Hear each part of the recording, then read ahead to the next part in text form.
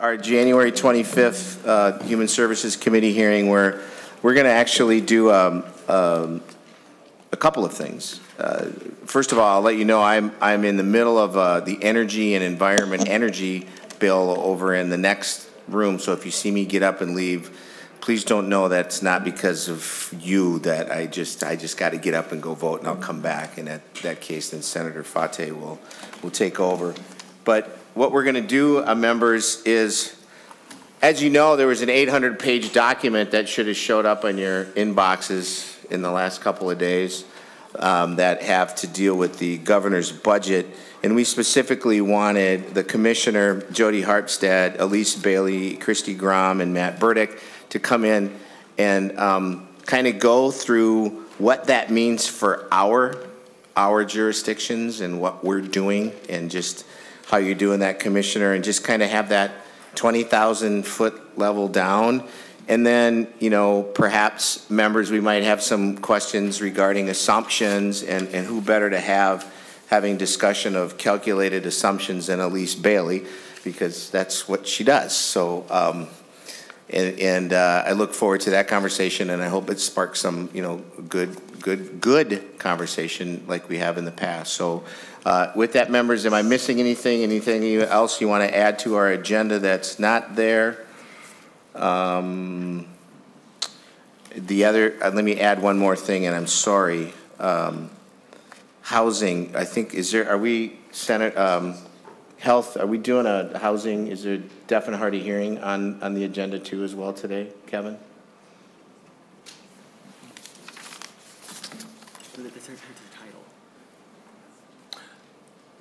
Okay, I, I see that wrong. My apologies, Commissioner. Um, I just, you know, having a conversation on reliability and nuclear energy has got me thinking someplace else. But no, we are just going to go through the governor's budget walkthrough with our fine, esteemed uh, members that are here with us. The Miss Bailey, Miss Grom, Commissioner um, Harpstead, and Mr. Burdick. So with that, Commissioner, the, the, the floor is yours. Thank you, Chair Hoffman. We're delighted to show you the 24-25 budget recommendations from the Governor's Office. Uh, to start with, the Department of Human Services, working with many others, helps people achieve their, helps people meet their basic needs so they can live in dignity and achieve their highest potential. So how's that for clearing out the room and bringing in human services? I love that. And, and Commissioner, are, are, you, do you want folks, if they have clarifications or they want to just have engaging conversation with you, to just go ahead and sure. do it as you're doing it? All right, Absolutely. members, you good with that? Okay, our, thank our, you. Our presentation's also kind of divided into uh, different portions, so after each one might be the best time to stop and get questions. Our package is, is centered around both the people we serve, whom you can see down the left side of this slide, and also improving the health and human services overall system. We've been working very hard over the last several years to spend much more time and intention with our counties and tribes, especially as we put together a really complete health and human services system across the state.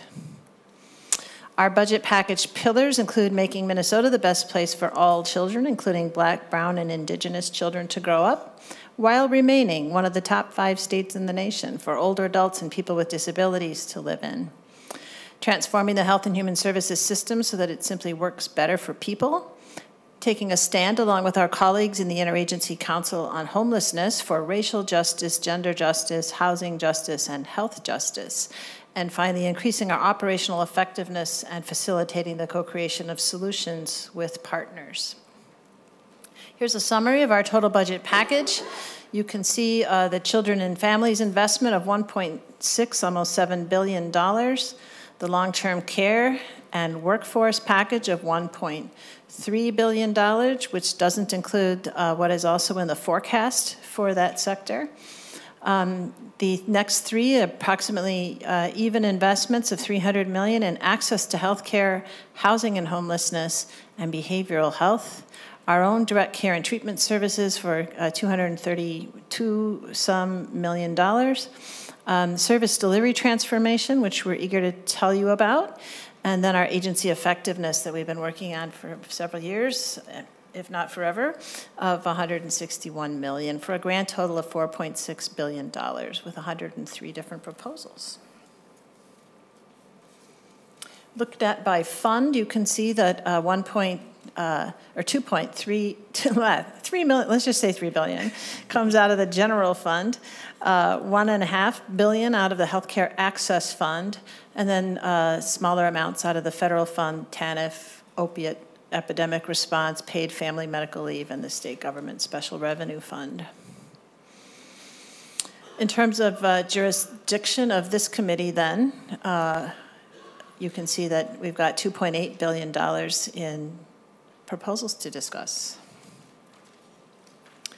And again, we're going over these various boxes today, so you'll get an idea of what we're talking about in each of these areas.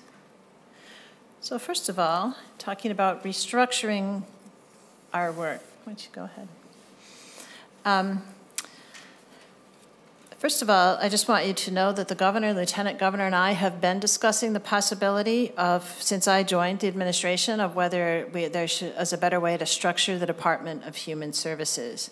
We are indeed a big agency, a challenge for anyone to lead, and anything smaller than what we have today would allow future governors to hire future commissioners who can manage the work. And so as we look at direct care and treatment, we have found this is the clearest, cleanest split of DHS. On the one hand, we have our $500 million, 5,000 employee healthcare system. You can think of it as about the size of the CentraCare system in central Minnesota. And on the other hand, our $22.5 billion, 2,500 employee policy formation, funding, and regulation system. DCT already has legal, compliance, and finance functions, so it's a pretty clean split and has been suggested several times in recent years with bills to do it introduced by both the House and Senate authors over the past several years. Uh, just back up one for a second. You can see down at the bottom the investment in the split is not very expensive uh, because, as we said, DCT has almost all of the functions it needs. We will have to divide up our HR department, for example, but um, otherwise, uh, it's a it's a pretty clean proposal. Um, I've also been uh, known since I came to the administration that the governor and lieutenant governor were wondering if they ever might be able to create a children and families agency to match their top priority of Minnesota as the top state in the nation for children to grow up. 22 other states have done this as well. COVID intervened in that possibility, but when they earned a second term, it was time to make both of these proposals uh, a reality. And this is also a very strong decision, borrowing on um, different parts of various uh, agencies across state government, bringing together holistic supports for families to ensure every child has a safe place to call home, never goes hungry, has the resources and supports to succeed in and out of the classroom, centering children, youth, and families a two-year process that we will go through to move core support divisions together in 2024. And the governor's revised budget will include further planning uh, that you'll get to see when that comes out. Elise, off to you.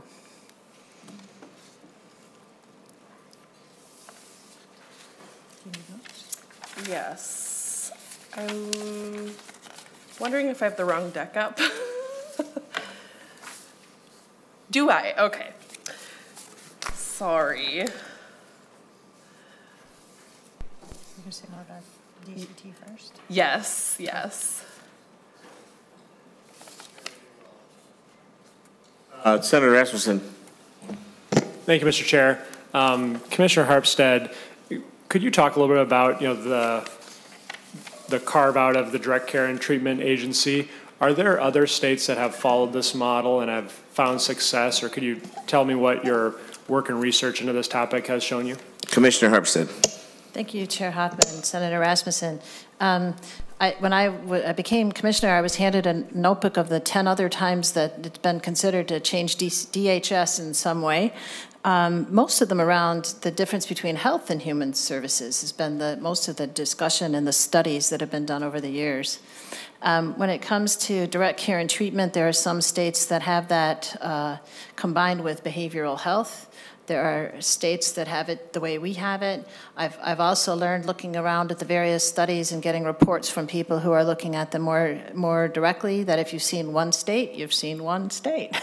and um, the way the different states come together in terms of health and human services is often a function of something that happens in a given year uh, that changes something and causes a restructure um, governors who come in uh, with a specific interest, like the Children and Families Agency that causes that. Um, states are able to operate these systems in a variety of different structures. So, you know, we can't really say that 40 of the 50 states have it this way and we're an outlier because every single one is structured differently.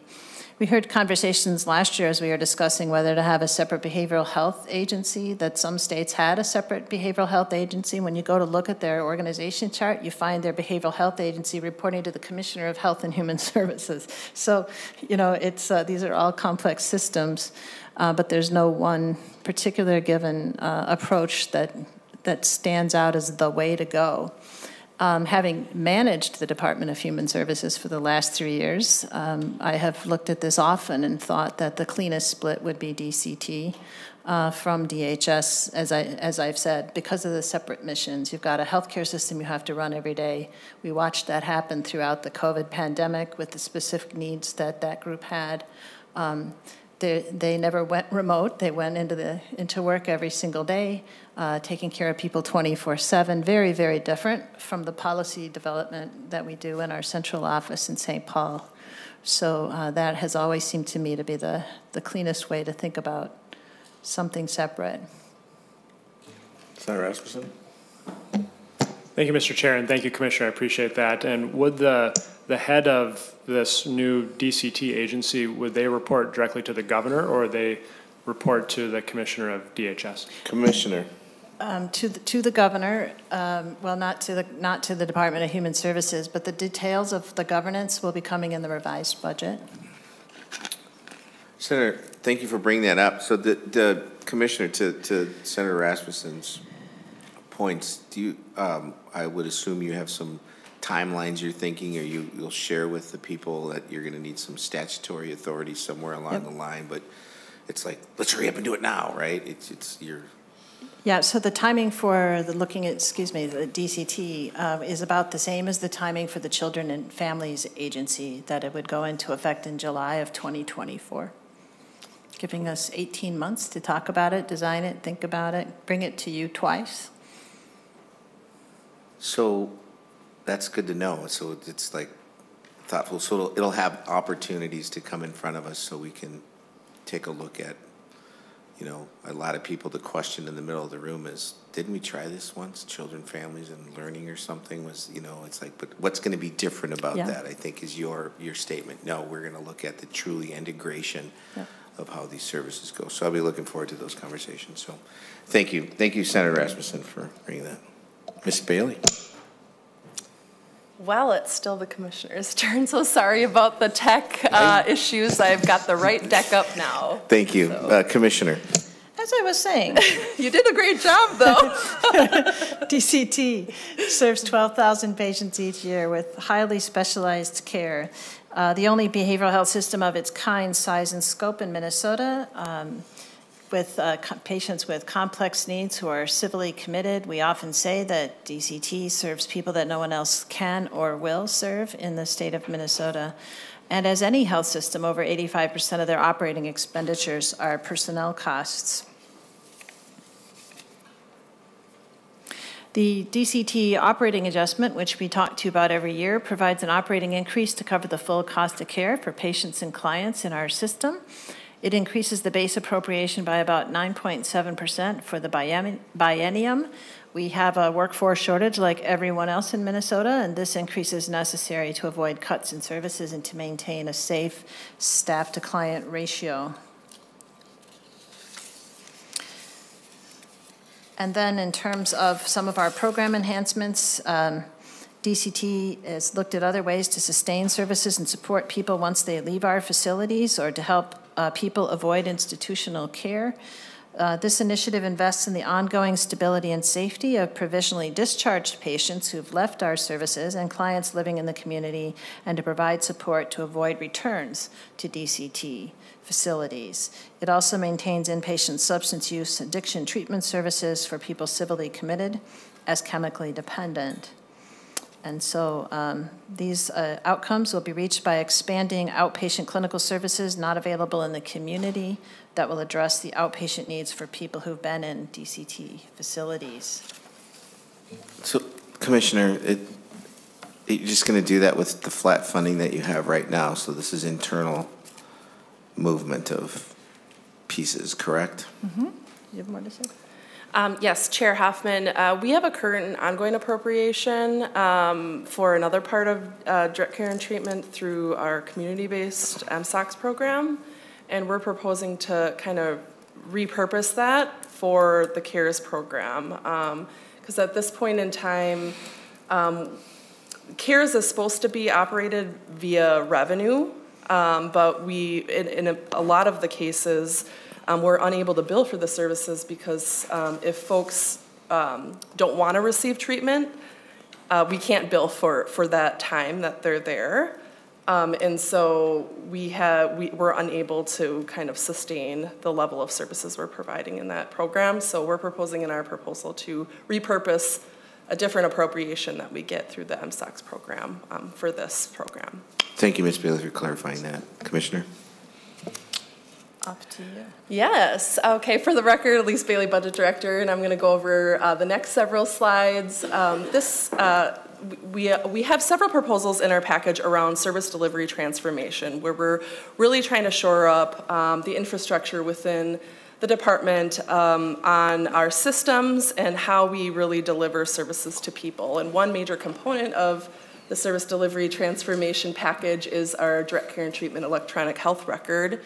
Um, This is a similar proposal that we had last year, um, but what it will do, it- it would finally um, implement a comprehensive, integrated, and interoperable um, EHR system, the uh, electronic health record system, throughout our direct care and treatment um, services. And of course, this will really benefit people that we serve to really facilitate continuity of care uh, across different providers um, throughout the state.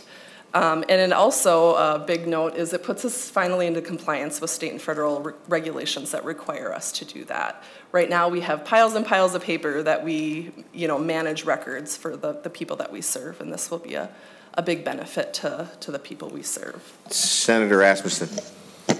Thank you, Mr. Chair. Uh, Question for Ms. Bailey. So are- currently, DCT does not have a EHR? Ms. Bailey? Chair Hoffman, Senator Rasmusson, we have been working on developing an EHR, but currently we do not have a fully functioning one at this time. Senator Rasmusson? And um, follow up, Ms. Bailey, would, would this be, uh, you know, bringing an outside vendor that would be providing the EHR, or is this something that's been developed internally? Ms. Bailey? Uh, Chair Hoffman, I'd like to maybe call up a friend.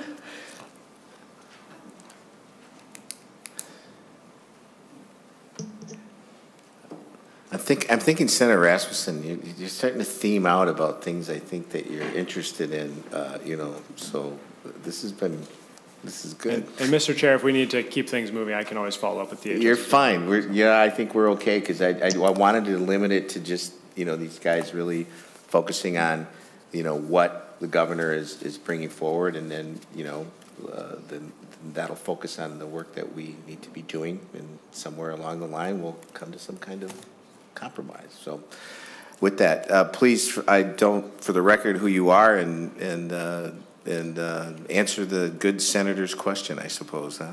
Good afternoon. Uh, For the record, I'm Dan Storkamp, Director of Operations Services for Direct Care and Treatment.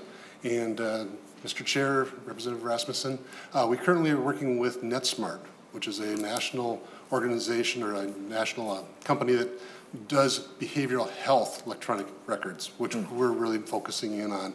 But it is in joint uh, development with MNIT and our DCT direction on what we're looking for. So we've got the outside vendor with their system that we've, uh, are enhancing to uh, get rid of the paper. Senator Rasmusson? All right, uh, Commissioner.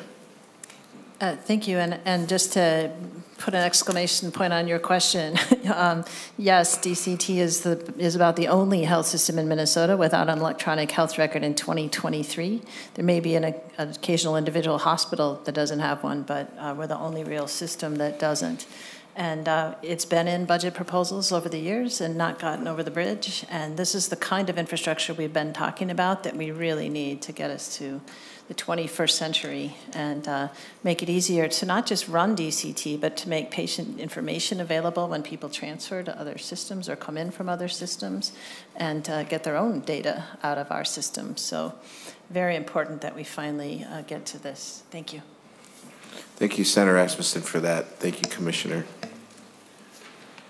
Miss Bailey, did I get that right? You did. All right. Okay, I'm going to go over a few other proposals we have in our category that we have titled Agency Effectiveness, of course, trying to make our work work better um, for the people served and our partners. Um, so slide 16, um, we have a proposal on changing the fees um, that we charge for our background studies. And this really relates to um, the fees that the Bureau of Criminal Apprehension, BCA, charges us um, to conduct those background studies. And that has changed from $42 per study to $44 per study. And so this proposal um, aligns the fees that we charge then um, to, to those um, increased costs. It also enables us to uh, um, ongoing to be able to change the fees that we charge according to changes that, that in these fees over time. Um, and it also allocates general fund dollars um, to cover the cost of studies conducted, conducted for tribal organizations for adoption and child foster care. Um, for background, we have over 70 provider types with um, 35,000 active providers that we do background studies for. Um, and annually, it, um, the amount of background studies that we have conducted has increased 45% since 2018. Um, so that kind of warrants these two changes on this page. One, the, the background fee uh, change that I went over, and then the next one is um, getting a general fund appropriation to increase um, our operational costs in the background studies area. Um, as I said, you know, the, the number of background studies has increased by 45% um, in recent years, and this is a really critical service that we provide um, that, that um, if given the resources, we, were, we would be able to more quickly um, process them and kind of uh, meet the demands of the market and the workforce. So maybe the commissioner can kind of talk about, that's always been the, there's a lot of organization, not a lot, I better, you know, there's organizations that have said that because of that backlog of background studies and the backlog that by the time they're able to offer somebody a position, it's too late, especially in today's market where, I don't know, you could go work at McDonald's in Burnsville and get paid 21 bucks an hour flipping burgers. But, you know, if we want to work as a, you know, ESL or something or whatever in a day program, you're, you know, you're making 15 bucks an hour if you're lucky. So, what, what, what's the, do you see this as a way to close that gap? Or, you know, can you talk about your hot spots, maybe, Commissioner, and what you're doing to help address that? Or what's the best way to be able, if somebody's feeling like they're stuck in the system, who's the best contact? How's the best way to get that so that they can have a spotlight on them? Thoughts? Uh, yes, Chair Hoffman, just want to mention that um, before COVID, uh, most of our background checks cleared in 24 to 48 hours. Uh, 85% of them, uh, 15 uh, flag something in that first check and need to be double checked further, usually with other states, to see if other states have any information about the person that we're doing the background check for.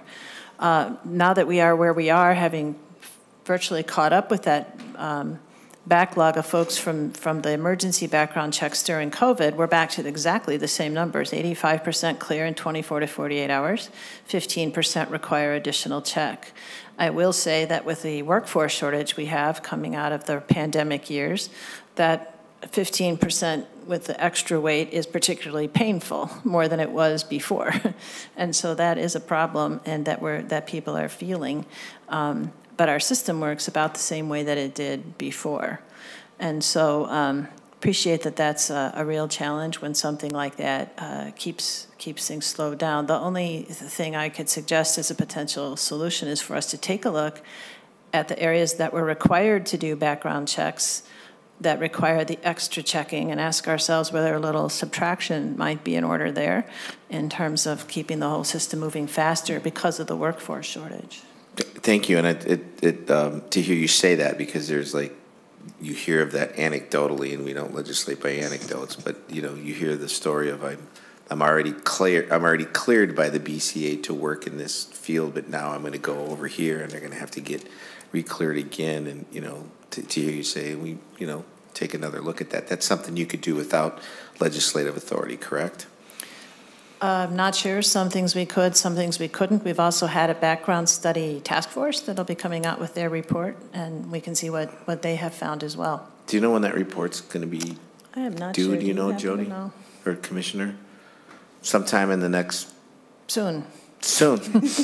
You'll be very- sharing it with us, I would assume? Members, any questions? Go ahead, Ms. Bailey, Commissioner.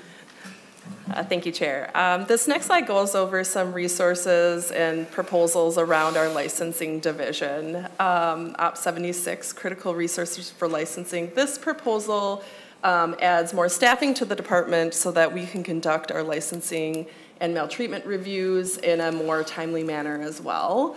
Um, This is a kind of a repeat from last year, um, and it's really critical, particularly in today's age, um, uh, to respond effectively to workforce challenges and ensure that we're able to process initial um, licensing applications as well as, um, you know, going out and on time to do our, our regular ongoing renewing um, licensing act- activities amidst the workforce shortage. So in this case, I'm going to ask for Senator Utke, the, that would, on the folks that are providing services under 245D, this would be a direct positive impact to get that from waiting, instead, you know, the statute is 60 days, but you got folks that are 9, 12, even 18 months just because of some other stuff, that this would directly impact that, correct?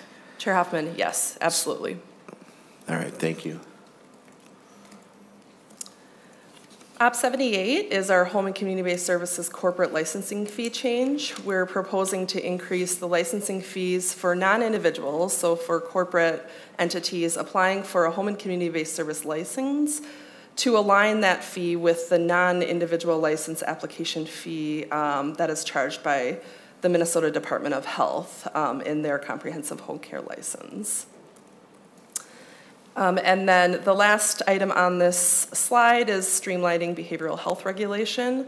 This is the next uh, phase in um, what is termed the USS um, pro- uh, change, the Universal Services and Standards for Mental Health Services. And what this would do is begin the creation of a single comprehensive licensing structure for mental health service programs, um, moving some um, regulation that occurs in the Behavioral Health Division over to our um, Office of Inspector General area and kind of streamlining it into a single comprehensive structure.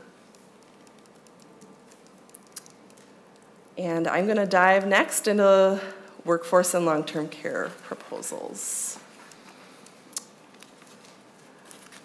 So we've done a lot of work in the department over the last year, really kind of grappling with, of course, as you all did last session, about the workforce challenges that this industry is experiencing. And it's absolutely historic over, um, as of the end of last year, over 52,000 vacancies um, in the social uh, service industry.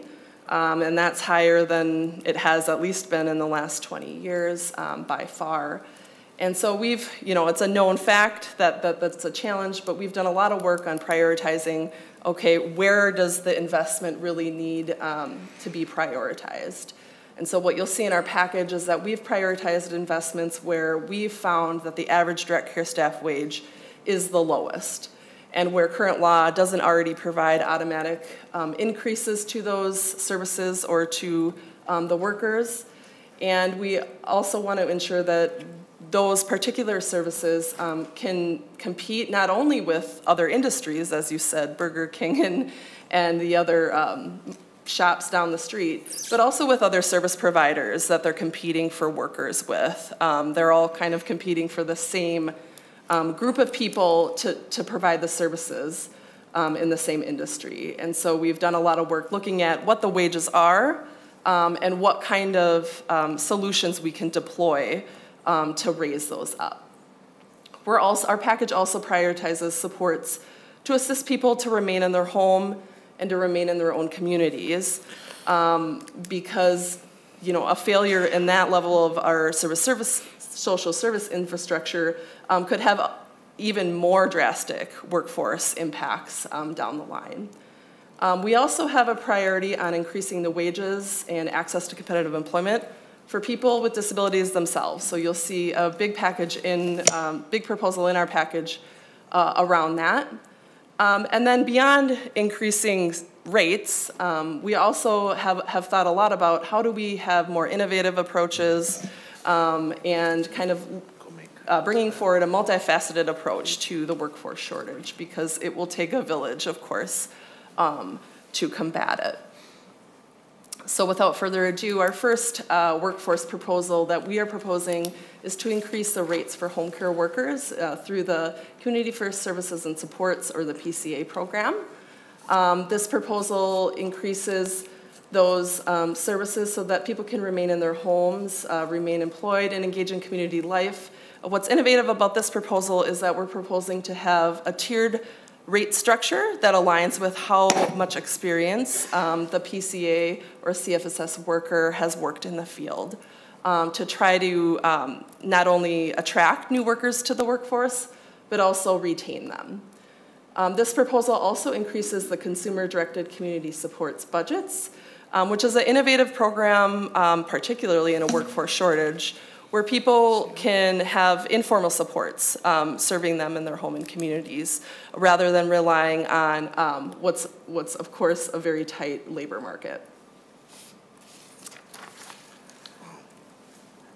Our next proposal is a package around older adult long-term care services. Um, this proposal increases the service rates um, that are provided under the elderly waiver or EW Alternative Care AC, and Essential Community Supports ECS programs to address the unprecedented workforce shortage in that area. Um, these rates will increase by an average of 9.8% effective January 1st, 2024. And then we would also deploy an inflationary adjustment in this area. So by uh, 2026, that uh, it would increase 11%. This proposal also increases the monthly budgets, again, for people um, using the CDCS program. Right now, those budgets are set at a lower amount than if the person had a budget under the traditional um, elderly waiver AC or ECS program. And so what this would do uh, is uh, have parity um, for the budgets, whether you choose to be on CDCS or you choose traditional level services, um, your budget would be the same. The next slide kind of goes over some of those innovative uh, grant workforce programs I was speaking about earlier. Um, this proposal funds two permanent grant programs to address uh, the workforce shortage with really a dedicated focus on expanding both the depth and diversity of the workforce and improving um, recruitment and retention. So one uh, grant program in this proposal is the Provider Capacity Grants for Rural and Underserved Communities. This was a new grant program that we passed in the 21 session, um, but it was funded through the HCBS FMAP dollars um, that were, of course, temporary. So what this proposal does is put it into the base, um, so it's an ongoing grant program. Um, the goal of this uh, grant program is to um, assist providers who are interested in serving um, in the HCBS sector in rural or underserved communities, so assisting them in startup um, and all sorts of uh, um, support in, in, starting to be a provider, but also um, support to maybe current providers who want to expand uh, to different services or different areas of the state.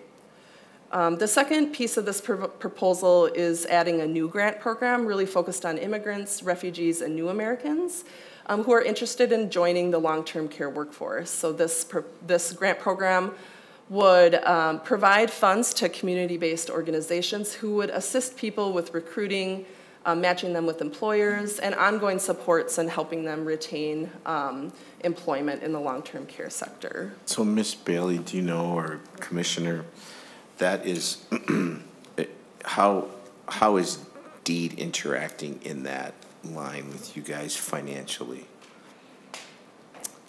Uh, Chair Hoffman, uh, financially, DEED is not um, connected to this proposal, but we have been working a lot with DEED on this package um, in general, um, and we can, we can connect more with them on this proposal ongoing. It just seems odd that, you know, you, you look at, you know, the agencies buckets, right? And, and, I mean, why would my brain automatically go? You're trying to get help, and, and I'm gonna give a couple of, there's a couple of nursing homes that I know that actually worked through DEED to get folks from other countries to come here on some work thing. Um, don't know what the work thing is, because I don't, but you want to ask me about Public Law 99, 457, I'll go all day on that one. But in this case, there is that, they, they were working with them on doing that to guess what? Have those folks working in the, you know, nursing home facility, and it just, I went to that saying, okay, we have an economic situation, right?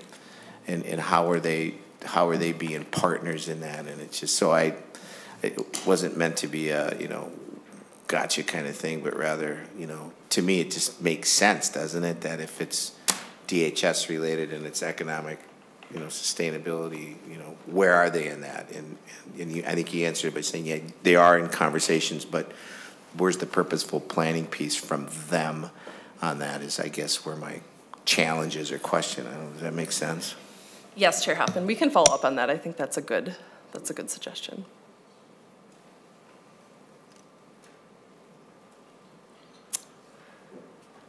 Um, the next slide, 23, um, this is our Vulnerable Act redesign pro, uh, proposal. So um, we're finding that with our uh, vulnerable adults, the MAARC system, um, that a large percentage of vulnerable adult reports that come into our system aren't actually followed up on. And um, so we've been working with community on this, on how do we redesign the system to really work effectively across the state.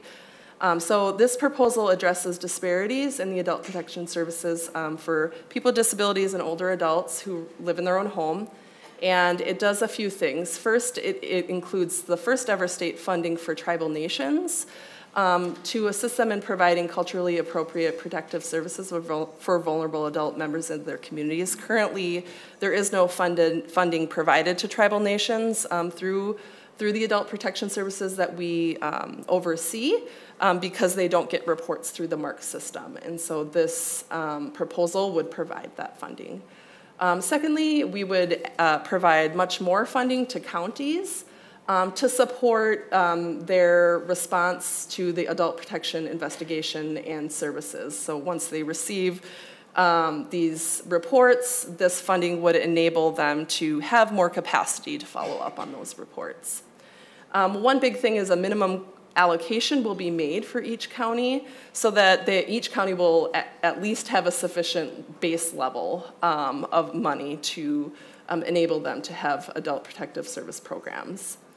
Um, lastly, this proposal um, improves our MAARC system, so the, the web-based reporting system um, that we have, we are proposing to revamp that um, to a more web-based, user-friendly, intuitive system that works better for, for all users.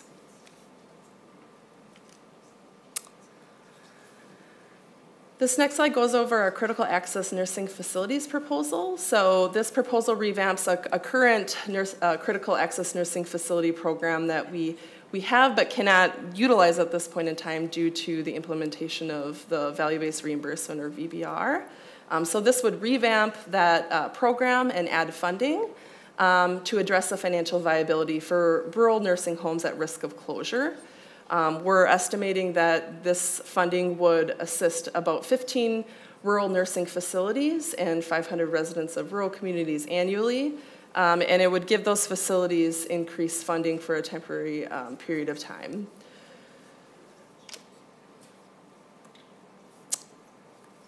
This next slide goes over one new idea that um, we're really excited about, uh, the creation of a tribal elder office at DHS um, with the intent to really promote true government-to-government um, relationship um, with the, the 11 federally recognized tribal nations in the state. Um, so there's a few things that we really want this tribal elder office to do, um, to have the dedicated resources for us to enable to provide technical expertise um, to directly access and maximize the use of federal funds. So there's specific federal funds that could be available to tribes that we don't currently tap into, um, and this proposal would enable us to assist in doing that. Um, we're also hoping to establish a long-term care services and supports, or LTSS, work group um, with tribal nations, and to build capacity in tribes to, to, for them to provide long-term services and supports to their members. Commissioner, how do you see that interacting? We, we created the um, Indian Tribal Ombudsman's Office last year, correct, out of this committee? Um, Senator Abeler, I wish he was here to, how do you see that tribal elder office um, working in, in conjunction with that or not? This, this would be a DHS position versus an ombudsman's position, correct?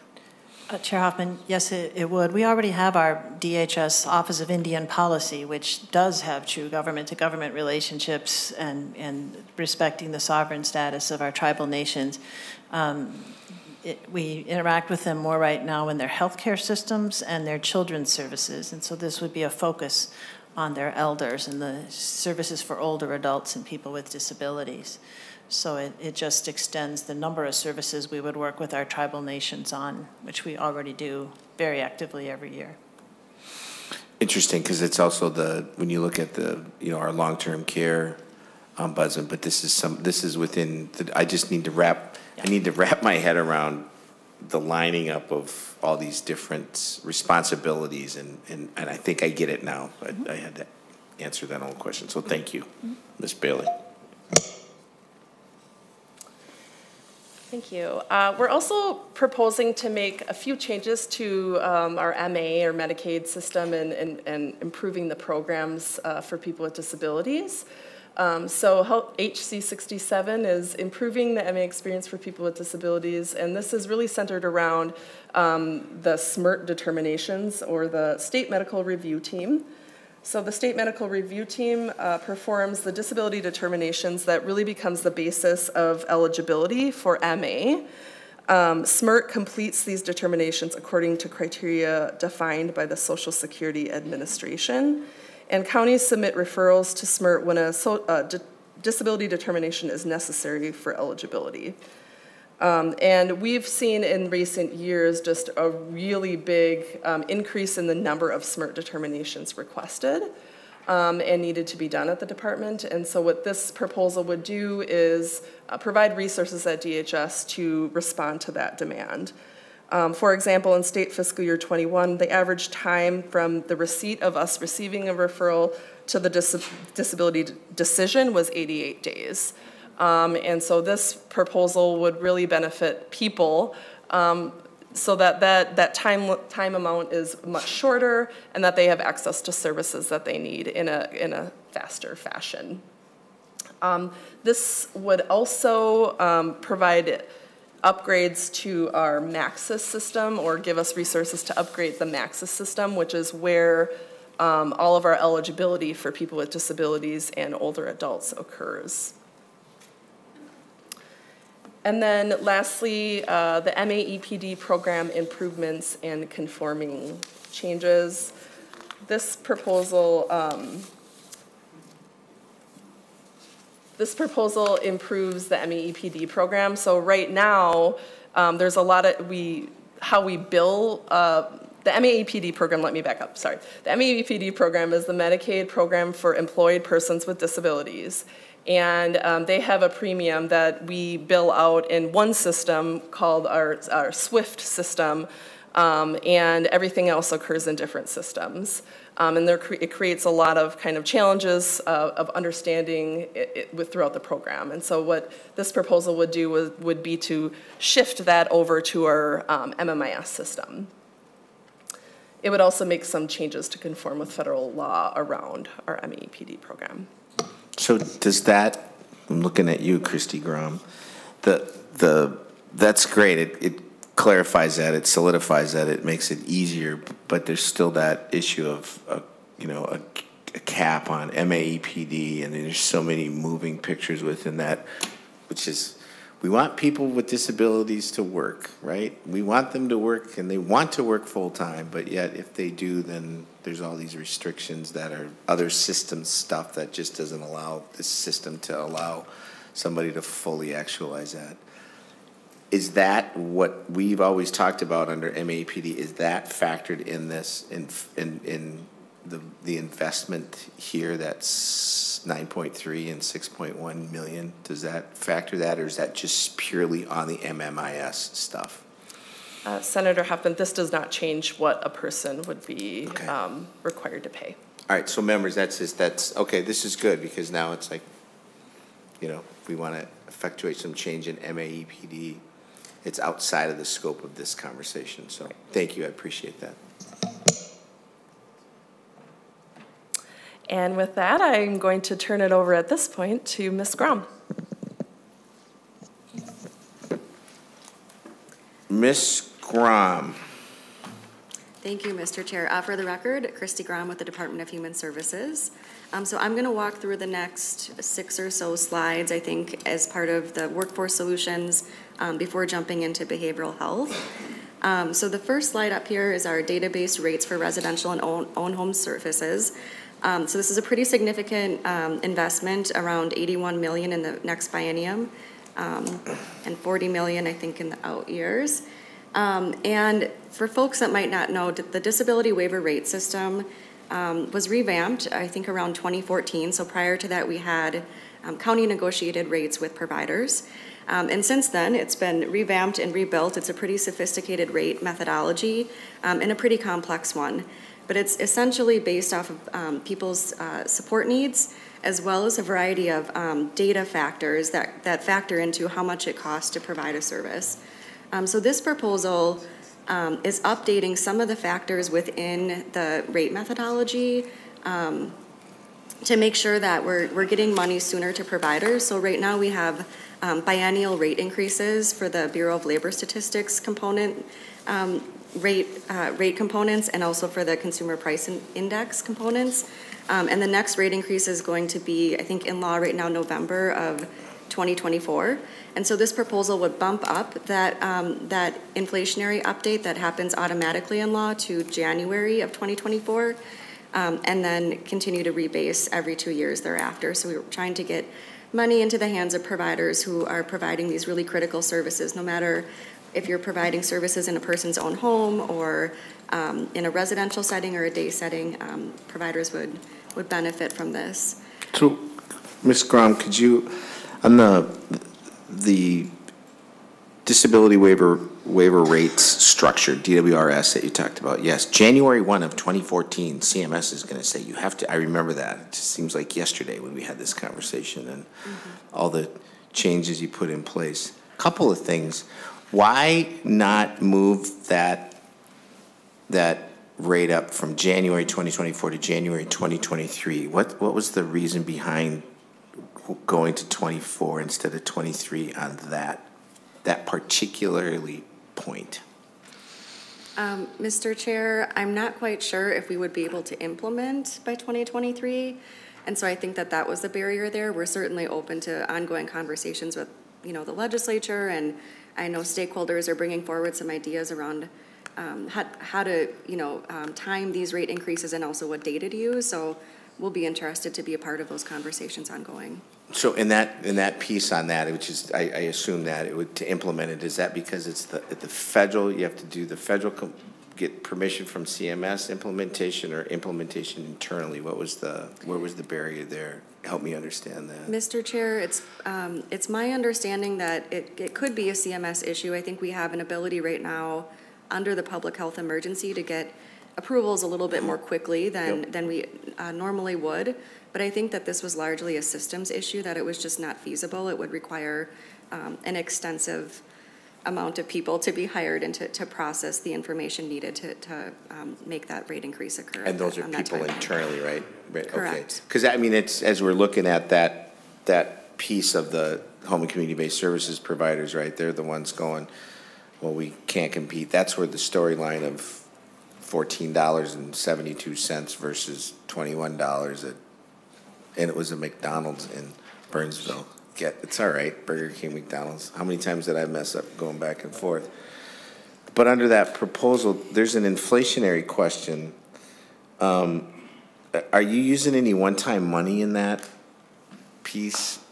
And this is probably an Elise Bailey question because it's a financial one, because I just am trying, I'm trying to wrap my head around this, here's this need, this impact, and we're gonna move it out. We have the inflationary piece in there, and I think, and I did chicken scratch for me, because the other question I had on that was, we're using the Bureau of Labor Statistics, which is data that's May of the previous year, so we're really in, looking at like two-year-old data. Have we offset any of that stuff in this conversation? Because I'm ultimately gonna say, is there enough money in this bucket to, to fix the issue that we see is in front of us? So, does that, see my series of questionings there? Chair Hoffman, I assume you're asking about um, the inflationary adjustments just because the, the, the money in the first biennium is more than the money in the second biennium. Um, That is because under current law, we're already assuming inflationary adjustments in the forecast. Um, And so in that tails piece, the 26, 27, we're already assuming the full cost of the next inflationary adjustment, but at a later time period. So basically, we're taking costs that would have occurred later, and they occur earlier. So that's why it's kind of front-loaded at that point in time. Your second question, um, I, I'm under the understanding that um, this proposal is just moving the dates. It doesn't change the look-back period. It doesn't. So um, we could, but he's making those, those change dates, is that, do you need our authority to change those dates? Is that something that is worthwhile of a conversation about why those dates specifically? Yes, Mr. Chair, Okay. those are in law, um, and we certainly could grab data at an earlier date. Uh, Operationally, we could, if the law said a different date. Yeah, I just I'm, I'm I'm really just looking at that that that system and saying, you know, how can we get them because everybody's you know help us out urgency, right? There's this there's an urgent cry out there for a whole bunch of those caregiving positions, right? And um, how how does that look like? What does that look like? And as I looked at the dollar amount of you know the Human Services Committee total in, in fiscal year 24-25 is $719,427,000. I ain't gonna cut it. I mean, I just, I looked at that, that's, I said that to the commissioner in the hallway, it's like, we got a long way to go here, right? That's just my first look at it, right? And I guess that's where the conversation is. How did we get to that? Where did we get to that? Is there any room into that piece? So, Chair Hoffman, I think we'd, we'd be happy to, to work together with you on, on that. God, love it. Awesome. So, uh, I'm sorry, keep going. I have, I have some Bureau of Labor Statistics stuff. We already know that it's wrapped around. We know the system is just there. I think if there's anything else, um, I'll, I'll just keep going. So go ahead. you, Mr. Ms. Chair. Crown. And I have to go vote in like 10 minutes, so I just got notice. So if I, if I leave, just know I'm not Sounds good, thank you. Um, So we'll move to the next uh, part of this proposal, um, which is an Sorry. increase, or instituting a, a rate methodology, a database rate methodology for in- intermediate care facilities for persons with developmental disabilities. Um, So these are facilities that not a lot of people are choosing to live at anymore, but there are indeed many people living there, enough people living there. They're aging in place, they have some pretty complex needs. Um, And they used to have a cost-based rate that was frozen by the legislature quite a while ago. Um, And since then, we've seen many concerns from intermediate care facilities. You probably are familiar with the kind of one-off rate increase requests um, because we have those historic rates in statute. So this proposal would um, set a rate floor to bump people up to a certain amount, so it would bump quite a few providers up to a particular rate floor. Um, and then the rates would be rebased, um, every two years. Um, so eventually, we would get providers up to a same, the same statewide rate. Um, and then moving on to our next, one of our really big workforce proposals, um, supporting, uh, the workforce and pe- for people who live in their own homes. Um, Ms. Bailey mentioned earlier that we took a data-based approach with our, with our budget this year and really looking at our labor market reporting, our provider cost reporting, um, and trying to understand where we need to target funding, knowing that, um, even with a big surplus, there is just not enough money to go around for all the needs that we have. Um, and so this was one of the packages where we really honed in on some of those wages for services that are serving people in their own homes. Um, so this is a, a pretty big investment of 30 million in the first biennium and about 50, 53 in the out years. Um, and so quite a few uh, provisions to this proposal. Um, there's an increase to the positive support services. So this is a service that serves people with um, pretty complex behavioral health needs. Um, and we found uh, have some difficulty attracting the correct professionals um, to provide that service. This is also a hospital decompression strategy, um, trying to get more people access to these important um, services for, for people who might be labeled as aggressive or having complex conditions. Um, we're also updating the competitive workforce factor for our unit-based services in our in our disability waiver rate. So um, our unit-based services are services that are provided in someone's own home, or they could be um, our employment services, for example. Um, and the competitive workforce factor is a factor that um, Ms. Bailey helped to construct uh, a few years ago that really accounts for the disparity in wages for people who need um, the same level of education and experience for this particular, um, for, for this um, direct support professional job, with people who work in other professions, say, for example, construction, who have the same um, amount of experience and education requirements. And so um, our competitive workforce factor is in need of being updated in those rates, and so this proposal does that. So can I ask a question to that? I'm glad you segued into that, because that's the, the competitive workforce factor, right? We're not where we need to be because of all the stuff's in front of us. So mm-hmm. I guess, what is, where does that increase need to be in order to get us to where that competitive workforce factor would be, where, it- where it should be? Um, Mr. Chair, that's a great question. I wish I had the data in front of me right now. I don't know, Ms. Bailey, if you remember it, but we do, we do have a legislative report that we publish every year, and you should have that. Um, I can certainly provide that to the, the committee following this, but um, I don't believe we're proposing to fully fund the competitive workforce factor under this proposal, but we can get back to you around what the research is showing in terms of that disparity. So, it, yeah, because I find it interesting that we know that that's, that has a lot to do. Senator Abeler, go ahead, I'm mid-sentence. No, you didn't interrupt, because I'm gonna go, I'm gonna go vote here, and I'm just gonna. All right. I was just reading the summary. It's three and a half percent, I think. Um, Anyway, and so just trying to figure who this is for. This isn't the regular home care people. There's nothing in the budget for them, is that correct? Uh, Mr. Chair. Mr. Chair. Senator Abeler, um, when you say regular home care people, this is for direct support professionals who provide disability waiver services. Right. DSPs. So we talk about home care um, and all that, like what the children's in their home and all that, pediatric home service, all that business is not part of this. Is that right? Mr. Chair, Senator Abeler, uh, this does not cover state plan services like home care and nursing that you might be referring to Right, with- yeah. when you talk about PHS. Um, But this does cover things like individualized housing supports and our new employment services and supports like that who really, are really critical for people um, to stay in their own homes. Senator Abler. Oh, no, that's, that's fine. I, um, we, we talked on the phone, the commissioner called me up and kind of gave me the once-over on this stuff, and, um, you're gonna leave pretty soon, so you can hear my little comment. So I, um, there's a lot of stuff in your budget, we heard a bunch of the provisions for different supports and uh, other committee. Um, And my concern is, we really need to make sure what we're doing now works before we add a whole bunch of other stuff and a whole, another 1,200 FTEs, and you need some for licensing, and you persuaded me of that, uh, Commissioner, as well as a few other places. I don't even know we're going to find 1,200 bodies to work in a, in this work environment.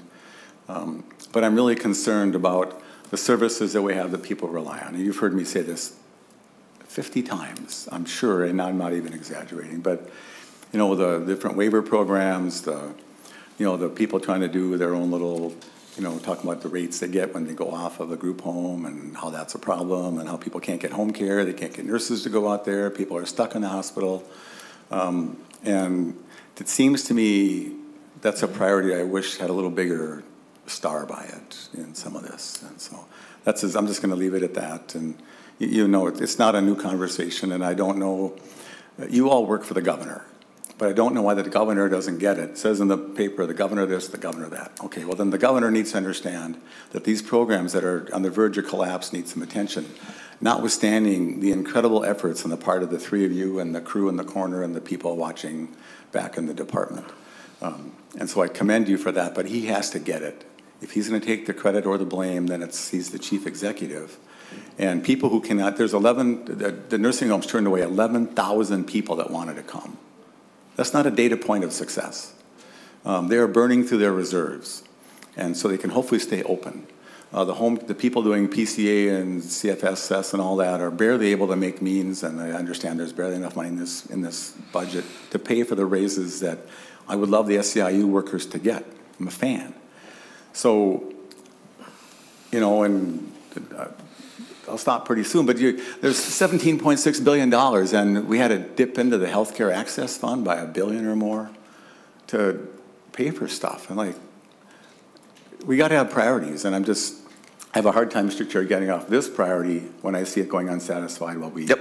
Try to reach into some other networks. Well, I will stop, Mr. Chair. You, you don't have to stop. I hope you never stop, Senator Abeler. I've known you for 20-some years, and that would just not be in your bailiwick to stop because you- people, there are folks out there, and, and the question on the table, I think, is, you know, is this proposal that the governor, budget-wise, has put together is going to address all what we see as needs are? And I think, you know, that was the first comment I looked at it, seven hundred and nineteen million dollars doesn't get us to where we, we think, you know, when we're sitting here having the discussion it needs to be, right? And so, which you also bring up, you know, I guess one of the fiscal questions before I go vote is the eight hundred million dollars that was calculated, and maybe we'll get to that when you go through, are you gonna do PCA? You're gonna talk about that later, Christie, she's gonna do that, and we can come back and maybe have a conversation on that, but, um, yeah, it's like, you know, are we putting enough money into where the system, and, and to your point, like, you know, there's a lot of priorities out there. But you know what, I just, I, I guess maybe once I would just like somebody in the United States of Minnesota to say, human services is my number one, you know what I mean? I mean, I, I say that tongue in cheek, but it really is, we know where you guys are in that, in that priority wise, and so, hearing what Abeler's saying. So Commissioner, I'm sorry I'm yakking, but I'm gonna go vote, go ahead. Chairman um, Hoffman and and Senator Abler, I just want to remind you that our whole package for a long-term care workforce is a a billion three, and that doesn't include the 800 million that's in the forecast for the VBR calculation for nursing homes. So it's over $2 billion in this sector. Mr. Senator Abeler, you, I have to go, they're texting, so. Well, this, the test is, how's it working? Are you going to take a recess, or, oh, you're going to give it to Senator Quaid? Okay, Quaid. Anyway, so um, the test is, how's it working? We're much more data-driven department than, when I first got here, do you know what the, one of the indicators was? Happy clients. Like, okay, and so we moved along toward people not doing recidivism and, you know, being working or whatever, there's a whole bunch of cool little things we have. But if, if there's all these negative indicators that even with this budget passed the way it is, they're going to stay negative, that's, that worries me. And I'm not attempting to confront you more than that, Commissioner, but I just, there's money and how do you spend it and what do you get for it? And, you know, I think you have a $2 billion problem in the long-term care side alone. We had a billion dollars before we needed uh, to get this to stabilize, and that has now become 2 billion on the four-year thing, just in this niche. And then you can talk about something else. So I, I- thank you. I'm the chair now. Back to you. Uh, Madam Chair, that is kind of amazing. Um, So just a couple more things on this package, and then we can move on to the, to the next slide. But um, um, also in this package is aligning our disability homemaker rates with those disability, or the homemaker rates in the elderly waiver um, system. Um, Homemaker is a really critical disability service that helps people stay in their own homes, and it's, the rates have been very low. Um, Counties in, in some cases have, are not able to find providers, so they're doing this service for, for people themselves. Um, and so this um, will align the rates um, better, increase them to what they are under EW, and create some of that parity. I think that's something that's also carried in Senate File 7, so we're, we're happy to um, see the alignment there. Um, and then also, I just want to mention the increasing the hourly limits for paid parents and spouses um, under the um, CDCS Consumer Directed Community Supports and CFSS programs. So making sure that we have um, hourly limits that make sense for, um, for parents and spouses who are providing those services, increasing them a bit to accommodate um, some of the workforce pressures that families are experiencing right now.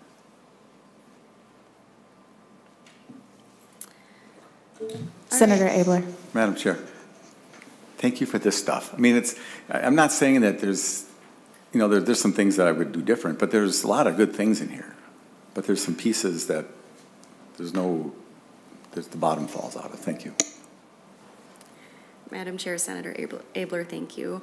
Um, So the next proposal that we'll talk about is our, our proposal around increasing wages um, and workforce participation for people with disabilities. So um, people with disabilities in Minnesota face some pretty significant barriers oftentimes in getting um, employed. I think almost 25% of people with disabilities in Minnesota are living in poverty, um, which is, you know, something that we're all wanting to reform from a civil rights perspective, but from a workforce perspective, it's also, you know, a problem for the state. So um, this proposal is really aligning with our um, employment first laws, which were championed by um, maybe some of you, but um, um, Senator Abeler and Senator Hoffman as well, making sure that we are providing access to competitive um, employment for people with disabilities. So it's a pretty um, robust package that I won't go completely through, but um, as part of this, we're building capacity through technical assistance and training, um, working with our lead agencies to make sure that they have what they need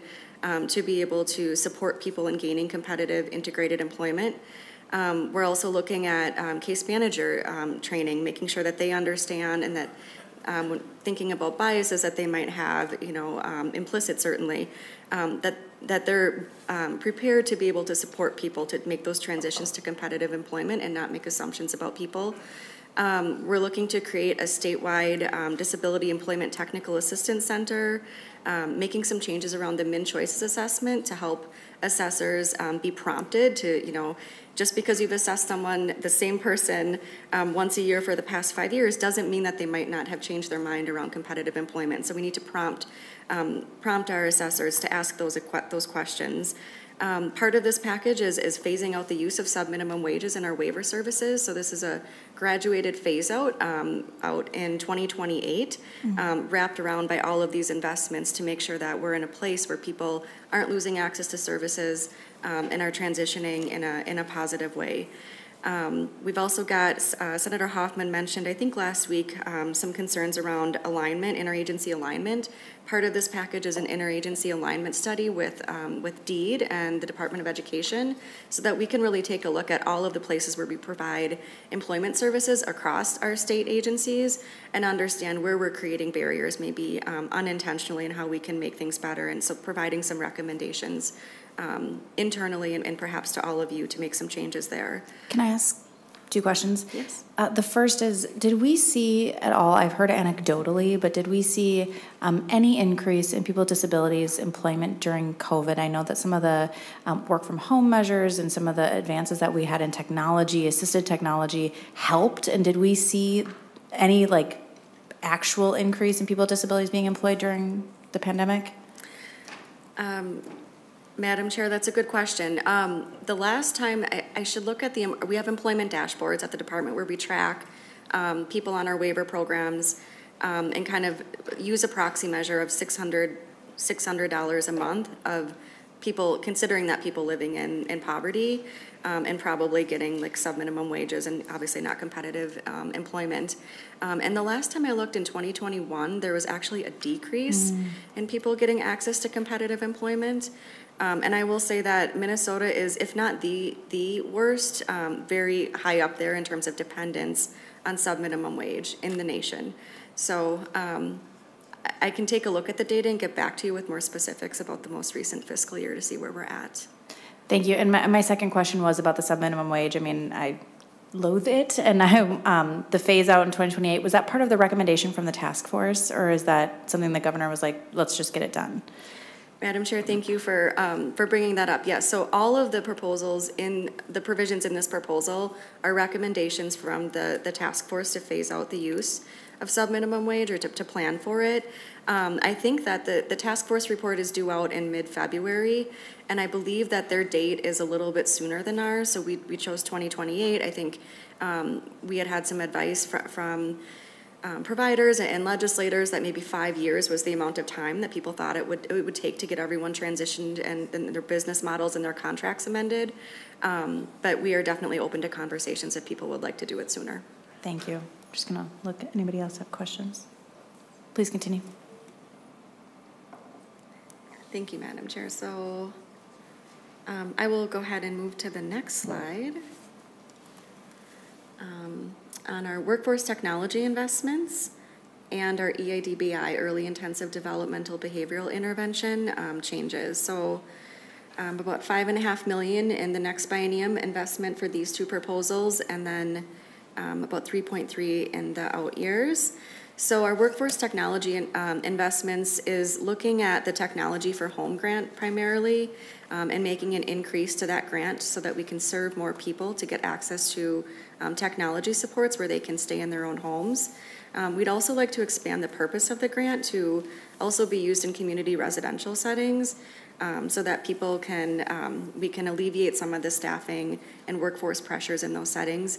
And then lastly, this proposal increases the specialized equipment and supplies um, yearly limit from around $4,000 a year to $10,000 a year. So these um, recommendations came out of the Technology Task Force that was passed by the legislature maybe in 2020, I can't remember the exact year, but these were um, uh, suggestions that, that are, um, uh, come from the community, and, and we agree with them and are um, looking forward to this investment.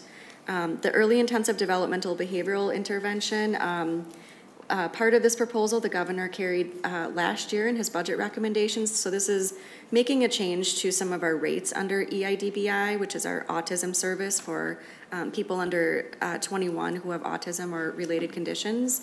Um, so making a change to the rate so that um, right now there are some um, culturally specific providers that can get a higher rate um, because they are fluent in another language. And when it comes to our native populations, many have lost their language, unfortunately, not, um, uh, you know, because of the, the effects of colonization. Um, and so we want to make sure that we are providing access to American Indians who want to um, provide that service and provide that culturally responsive service that's really needed in that community. And so this proposal does that. And then lastly, EIDBI is not a licensed service. It's um, clinicians, many clinicians are providing the service, so they themselves have licenses, but um, there is not an overall um, regulatory structure, and, and issues have come up in the past about that. And so we'd like to um, invest in a study to really pull together stakeholders and talk about all the diverse points of view and what makes sense in terms of um, regulation going forward. Um, so a couple proposals on this slide related to our small customized living providers, um, as well as our, um, a benefit called life sharing.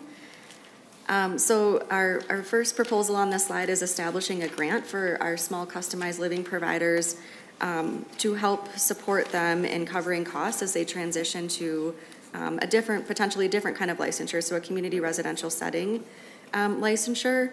And then the second part of this proposal is allowing for special payment, so a higher payment um, to customized living service providers that are going to be closing and get that um, get that approval from the Department of Health to make sure that they can continue to serve people in their settings um, and are and people aren't um, displaced. And then our life sharing proposal this year um, establishes a formal life sharing um, medical assistance benefit. So life sharing is um, not really a new model, but a newish model um, that's really similar to um, what we have right now for um, family residential services that used to be called family foster care. Um, so this is a, a little bit different, and that's a real, really relationship based um, and matching um, who people want to live with and who, you know, maybe perhaps you're a provider at a group home and you have, you leave and you have a, a very, you know, strong relationship with someone you were working with and you actually want them to become a, a part of your family. Um, so this is a much more relationship-based service that involves um, matching, um, and there's, I think, a limit of about two people in a home. Right now, our family residential services, um, which have, you know, been great for people, um, in some cases have turned into looking very similar to um, what our group homes look like. So kind of a corporate um, shift staff model where there's four people in the home and it, it looks like the same thing as a group home. It's just called something different. The person that um, um, that owns that setting or owns that business lives there. That's kind of the only difference in some of these settings. And so we really want to promote this new life sharing service. We have um, a way that, that this works right now under current law and court current authorities, but we want to um, lift that up and codify um, the discrete benefit um, and also increase the rate so we can incentivize people um, to use this service. Um, and so in doing so, we would take a look at our family residential services and change some of the rates. This was a proposal similar to a governor's proposal from 2021 um, and tie those rates instead to a person's support needs. So this would be something that would be effective um, a few years out in 2026 um, because we do need to wait for some um, updates in our MnCHOICES system to make sure we have access to the best data that's um, that's tested and, and makes sense in terms of what those residential or what those um, support ranges are for people. Madam Chair, Senator Abeler? can you put a gold star by this one? Thank you. Gold star, yes. Gold star on it, great. Continue. Um, all right, and so the next um, couple of proposals around improving assessment experience for people um, and lead agencies, as well as planning for some of those um, innovative workforce solutions that um, Ms. Bailey talked about a few of those earlier in the presentation. So um, the first proposal, AD 69, improving the assessment experience. Um, part of this funding um, in this proposal is for ongoing operational um, enhancements to our MnCHOICES platform. we have a minimally viable product right now that just isn't set up to keep pace with all the changes in the future and make sure that um, it's improving and that, that the user experience is continually improving. So this uh, proposal provides ongoing funding to support that product. Um, this proposal also includes um, some changes to assessor qualifications for um, MnCHOICES or long-term care consultations. So um, we would lower these to someone with one year of home and community-based experience, um, but continue to have all of the other relevant education and experience training um, as part of those assessments. This was something that counties felt was going to be helpful in getting, um, getting their backlogs reduced of those assessments. And then lastly, we'd really um, have really been intrigued and interested in the conversations around presumptive eligibility that have occurred um, over the past few years. Um, so we would like to fund um, a study to look at our medical assistance financial um, eligibility as well as functional eligibility, the kind of eligibility that's determined under our HCBS waivers and really understand if there's some way that we can um, streamline some processes and make sure that people get eligible as soon as possible, sooner than, than they do now, um, and get access to those important services. Madam Chair. Senator Abeler? Um, thanks. Is this the same idea about the hospitals with their presumption of eligibility? Is this the same study you would do with people that are stuck there? You don't know how to get rid of them, I mean, how to get them on a funding stream so they can move on to somewhere? Is this the same idea? Ms. Grom? Madam Chair, Senator Abeler, it's a similar idea. I mean, this is a study, so it's a very complicated um, effort to do this, but this is what we mentioned to you when, when we talked a little bit about that hospital issue of something that we think would really help. But this would include that? Senator Yes. Abeler? Okay, thank you. Other, uh, you want two gold stars? I was kind of hard on you guys, but I'm happy to tell you where I am. I think you're on the right track, so thank you very much. Ms. Grom? Thank you. And so I think, do we have any more workforce, Elise, or is that the end of? Uh, Ms. Graham, I think you didn't do the second one. Oh, you're right. Um, all right, so AD 56, Planning for Innovative and Community-Driven Workforce Solutions. This is another one that ties in with um, uh, people getting stuck at hospitals. So this is administrative funding for um, a study to look at a few of our waiver services, our positive support services, our specialist services, um, and our respite services or crisis services, um, and, and get an understanding if we could move those services and how would we do that into a state plan authority to increase access. So right now, you have to be on a waiver to get those services. They, they tend to serve people with those complex behavioral health needs. Um, and so we've heard, this is something we've heard from counties and hospitals, is that um, a lot of people aren't on a waiver and they might not, even if they're eligible, they might not want to get on a waiver. And so um, is there a way that we could expand access? And so this would be a study to do that. And then also included in this one is um, uh, a curriculum for, for county case managers to better support them in um, um, understanding how to support people in their own homes and having some tools around um, care coordination. When people are living in their own homes, it's a lot different to be a case manager when you have someone living in you know a residential setting, for example, where a lot of the um, services and needs are already set up. Um, and so there's funding for, for that curriculum planning as part of this proposal as well.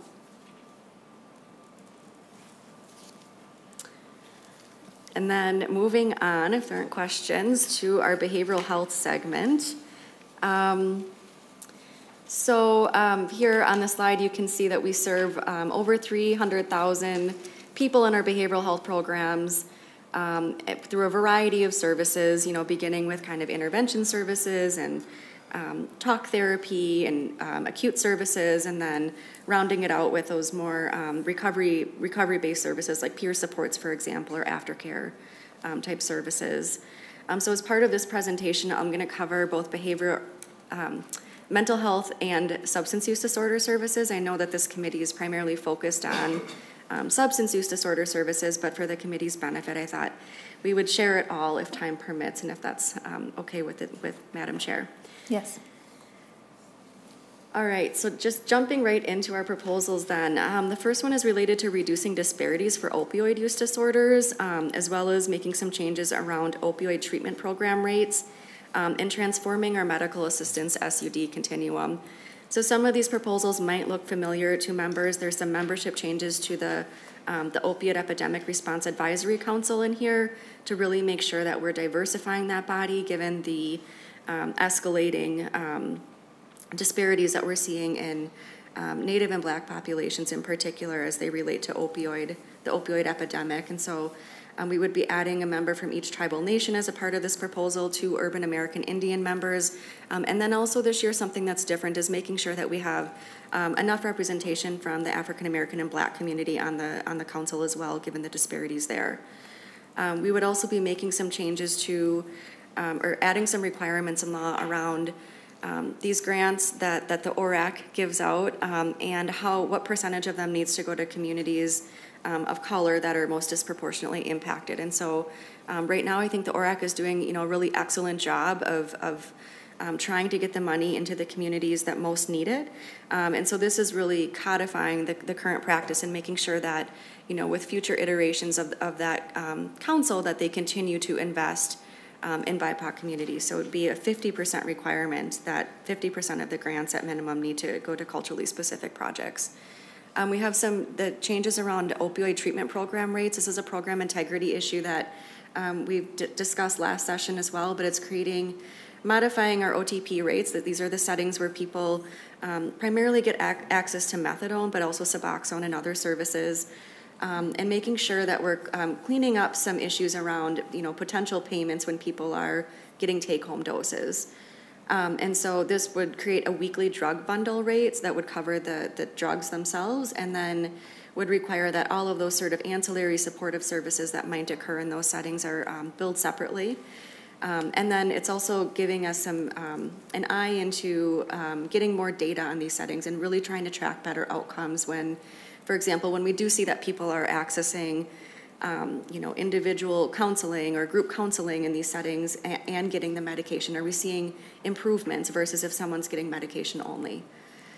Um, we have funding in this proposal for what's called um, an ECHO for our opioid treatment program. So this sort of goes hand in hand with really trying to improve um, the transparency and the integrity and making sure that our OTP programs are person centered. Um, so this would create a new ECHO. So it's um, sort of a some, a provider learning community essentially um, for, um, for OTPs to get together and talk about best practices and really learn from each other on what's working. Um, This proposal, um, BH 57, also includes funding for um, just study setting up an 1115 medical assistance demonstration waiver um, to begin to provide behavioral health services in correctional facilities to the extent that we can. There are some federal limitations there, um, but some other states are looking at how to do this, and we'd like to join in um, that study and see if there's anything that we could stand up to get MA services in those settings um, where people are sort of getting a patchwork of services right now, and we're seeing some pretty, pretty extreme outcomes when people are being released in terms of overdose rates. We'd also like to look at um, adding a traditional healing medical assistance benefit, so that would be part of this study, um, as well as a contingency management benefit, which um, contingency man- management is an evidence-based program that um, primarily impacts people with methamphetamine addictions. Um, and so we'd like to take a look to see if there's something we could do innovative um, around that space as well. And then lastly, um, we've got funding in here for capacity building and startup grants for our withdrawal management programs, which is really a need. We have nine programs across the state, and we have, you know, um, an opioid crisis right now, and just not enough um, supports for people who need that that withdrawal management, that kind of medically monitored setting. Um, but also remembering that these are settings where once people are safely um, withdrawing, they're also getting access to resources to, you know, transition to treatment or, uh, you know, peer supports or things that would be helpful for them depending on where they're at in their recovery journey.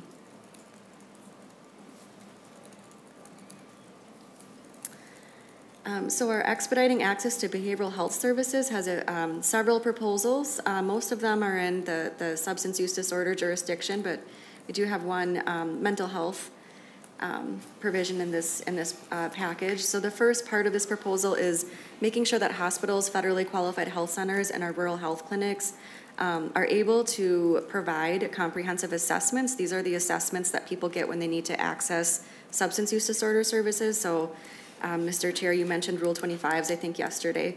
Um, and so the, these are the new Rule 25s, the new and improved Rule 25s post the direct access reform.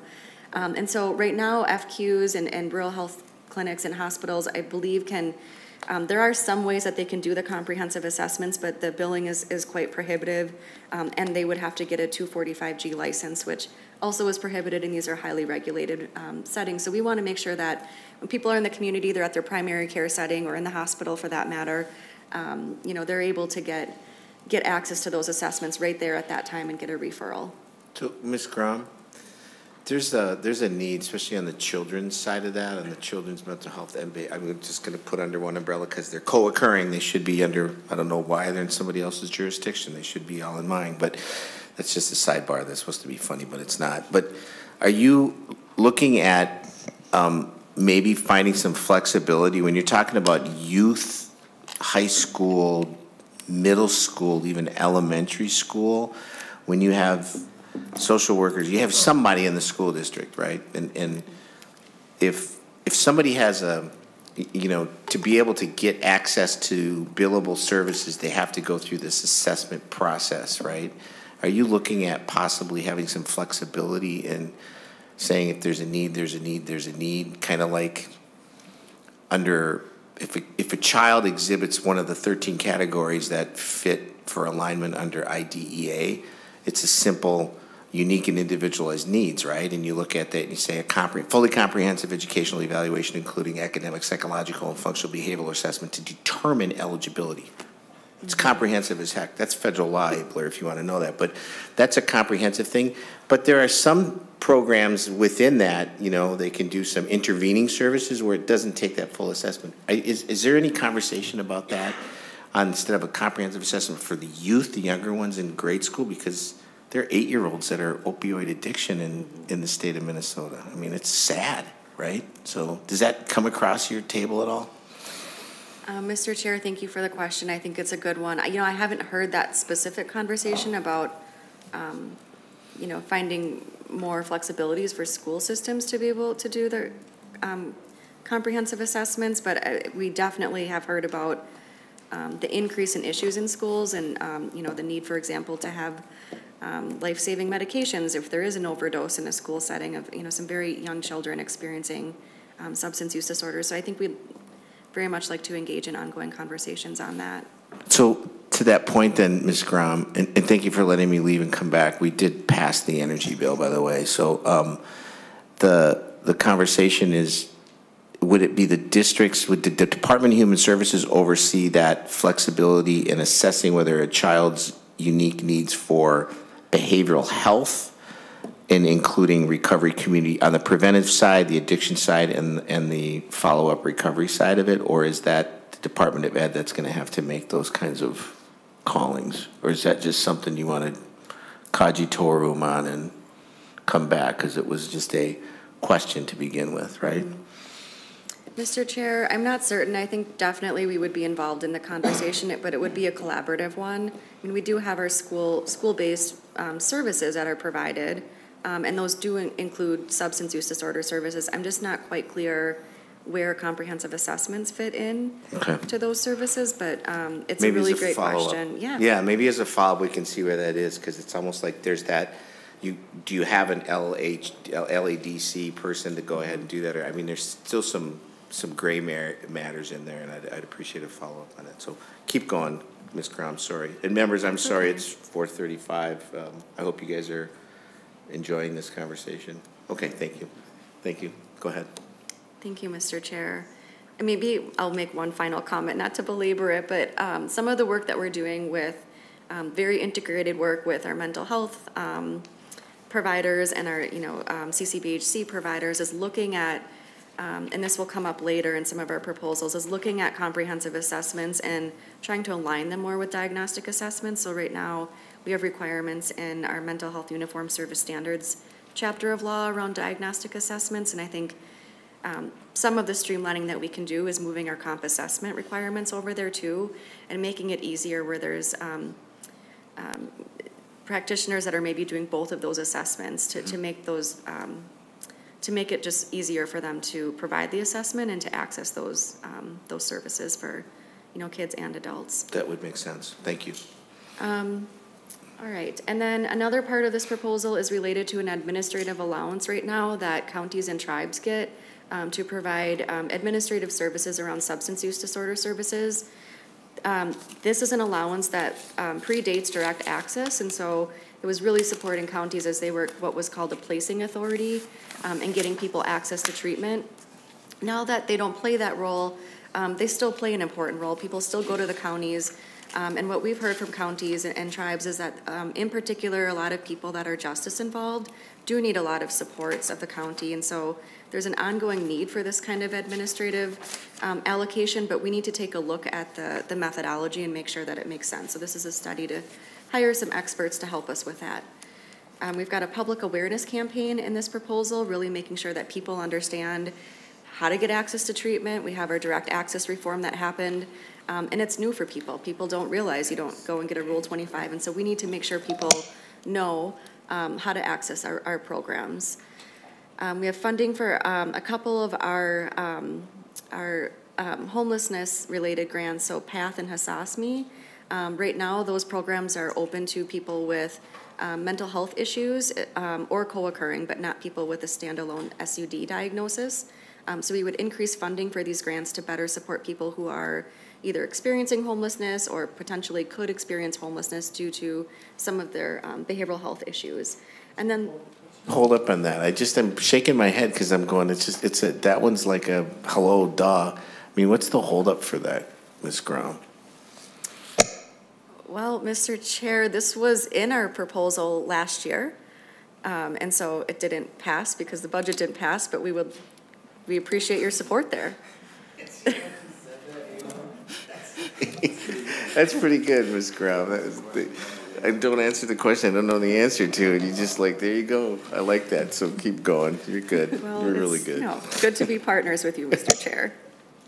All right, and then lastly, um, we have uh, something called Adult Mental Health Initiatives. These are regional collaboratives across the state um, to help support um, local areas provide mental health services and get additional funding to do that. Um, and we have one tribal AMHI or Adult Mental Health Initiative. It's White, White Earth Nation.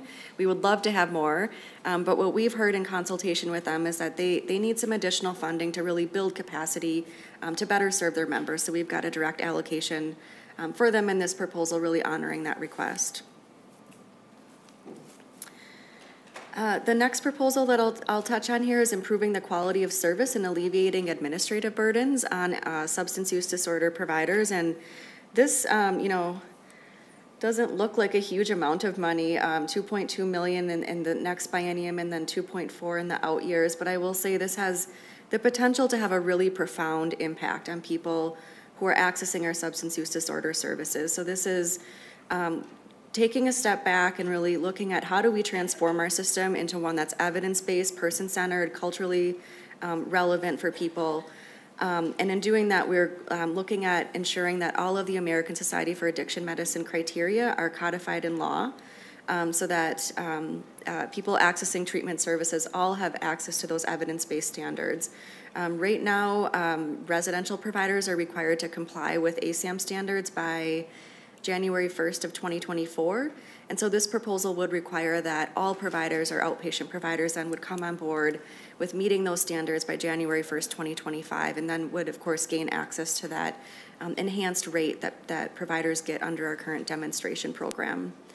Um, in addition to implementing these ASAM standards, and I should say that the ASAM standards, this is something that will greatly improve the quality um, and outcomes of our treatment um, our treatment settings. It's also a federal compliance issue where we've made an agreement with CMS, the Centers for Medicare and Medicaid, to um, to implement statewide ASAM criteria. Um, related to this, as part of this bill, a lot of what's in um, this proposal is similar to um, the items that you talked about earlier this week with the Provider Association um, MARRCH. Um, and we've been working with them over the interim to really look at some of the ideas they brought forward last year. As you probably recall, um, they weren't quite ready to go, but they were really important ideas. And so we've had some great conversations with them over the interim and have really incorporated um, what we've come up with collectively into this bill. And so we've got changes around the individual treatment plan frequency, for example, um, looking at requirements in residential settings around um, hourly, weekly hourly requirements that are somewhat arbitrary, um, and really making some changes that, that align with um, the, the person-centered ASAM standards um, to address some of those issues. We've also got funding for a utilization management program um, across all of our SUD system to make sure that um, we're supporting our provider community um, and, and kind of tracking to make sure that people are getting um, just the right amount of care, um, not too much, not too little. And then importantly, I think we talked about this earlier today, we have funding for a data analysis and evaluation team for the behavioral health area. That's something that providers you've heard talking about, and we, we tend to agree we do a good job of um, collecting some of our opioid data, and we, we also have data um, that's required under our 1115. Um, but we would like to be doing more of that and making that data available to the public and, and policymakers as you make your important decisions on, on uh, treatment services. Um, okay, so improving access to behavioral health services. This proposal includes um, some funding for um, room and board for children's in children's residential facilities. So in 2021, advocates came forward with some ideas around um, uh, related to the implementation of Families First. Um, and um, wanting to make sure that people who are accessing children's residential facilities don't have to go into child protection to get access to that medical service. And so there was what was called a third path made. So previously you had to either enter or get access to those those MA services through um, voluntary or involuntary child protection, and now the third path is just direct access to those services. The issue that counties and tribes are facing is that when people enter those services um, through the non-child protection pathway, they don't get access to some of the federal um, federal funds that you would get when people are on child protection. And so this proposal provides funding for room and board for counties and tribes using the behavioral health fund to cover some of those room and board costs. Um, this proposal also similar to last year includes an increase to our adult day treatment rates, um, so a 50% increase over the current rates. Um, we would also like to look at some ongoing funding for an online tool or platform to help support families, people find the right kinds of behavioral health supports that they need.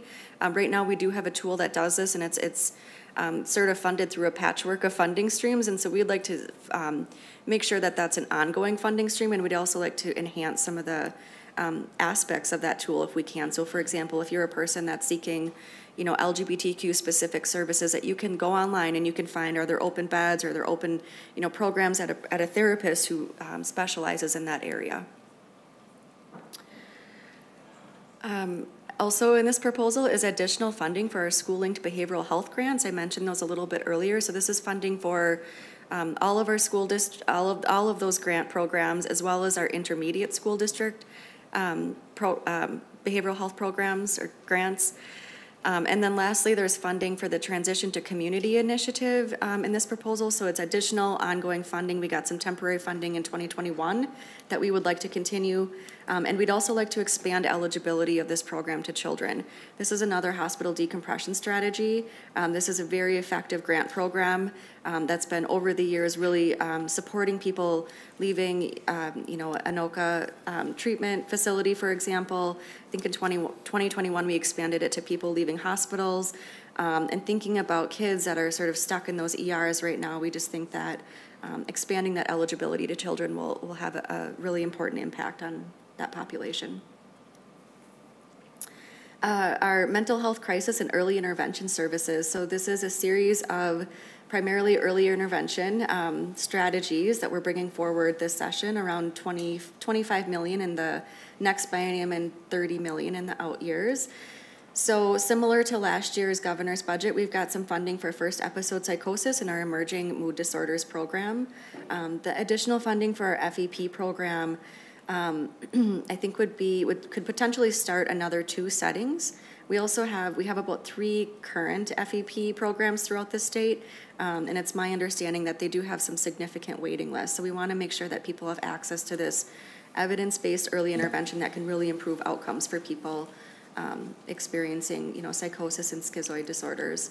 Age range of, when you say early intervention services and early intervening, what's, what's the age range you got there?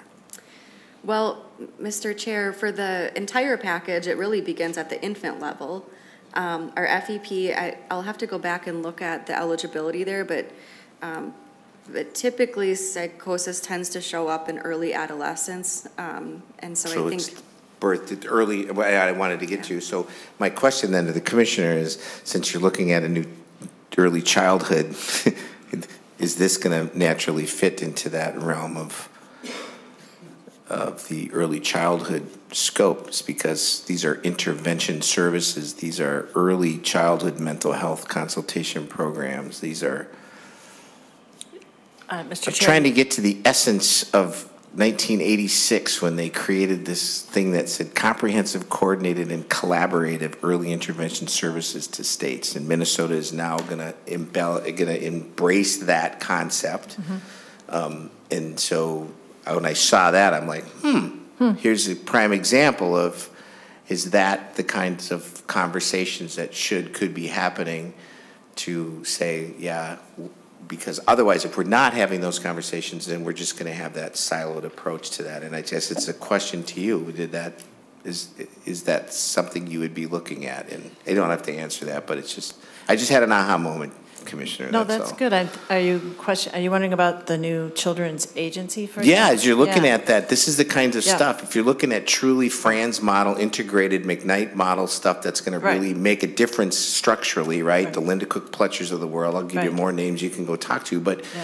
that's the stuff that it's like, Right. there should be that integration and conversation on that. Yep. That's. So at this point, the thought process is that children's mental health would remain at DHS, and so we would need to work very closely with the other agency on these issues. Yeah, as you're looking at, because if it's early intervention services, if you're defining that, that would be one of those components to, to look at, so Yep. that's all. Thank you. Thank you. Sorry to interrupt you, Ms. Grom. no problem, Mr. Chair. Um, also in this proposal is a pilot to look at a, a model that's, um, being used in other states and at, at least one county that, that I know of in the state here. Um, it's called the Mobile Response and Stabilization Services Model. Um, and so this is just a different way to do crisis response for, um, for families and youth and making sure that when there is a crisis that, that the, um, the team is meeting that person in that moment, connecting them to the services that they need, but then that they're actually staying with that family and that person on an ongoing basis for at least six months following that event to build resiliency, to build awareness of around how to, you know, are there signs that you can tell when a, when a crisis might happen in the future to really um, make sure that, that families and, and children are able to address those crises in a way that reduces um, referrals to our child protection system or, or um, having to go to residential levels of care. Are you tracking the engagement on that through like any software programs or apps? Are you able to track engagement in this program that you're talking about? Um, Mr. Chair, I'm not certain. I know part of this proposal is working with Technical Assistance Center from somewhere out east. I can't remember the state, of course, now. That's Um, okay. But yeah, there's a lot of support that goes uh, into this pilot. I think what we want to do is um, um, tr- definitely track the outcomes in some way. I don't know if it's through an app, um, so that we can understand, is this a model that we somehow need to implement into our medical assistance program? So, so last year, I think, or two years ago, when you had, the department had the guy from Olmsted County, um, I forget his name, but he was just very smart and articulate and, and, and helped, uh, talk about just engagement, lack of engagement. Senator Abeler had put together, there's a, a pilot project that's going on in Anoka County, go figure, Anoka County, right? Um, and they're using, um, a Pathfinder app that, that tracks engagement. They're finding is, you know, um, engagement is the opposite, you know, being involved is the opposite of addiction. You're seeing some really good things on that. It's, I guess I just wanted to know, is that something they're utilizing as that engagement tool? And it, the answer is, I guess, is no. But I know the White Earth, Monoman, the White Earth tribe is absolutely um, full in on that. You know, they're doing that and they're starting to, to track that stuff throughout their system too. So, I mean, there's some innovation that's going on around that field, so go ahead. Absolutely, Oh, Mr. Chair. Mr. Senator, Senator Rasmusson.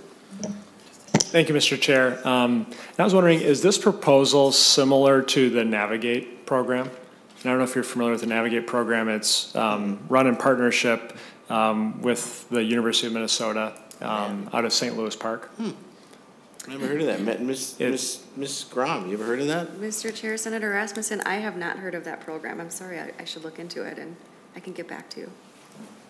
Thank you. Senator Rasmusson, maybe, yeah, that would be good to. And the thing I would add is, you know, this, I think Navigate, um, it has a good track record for the early interventions, especially around psychosis. Um, and I had a, a constituent tell me a heartbreaking story about how they live in Fergus Falls and, and knew that this program would be great for their child, but because of physical distance, and they weren't able to receive the coordinated care. And so I'd especially be interested in how this uh, would be implemented in communities in greater Minnesota to make sure that um, they have the same access to these services.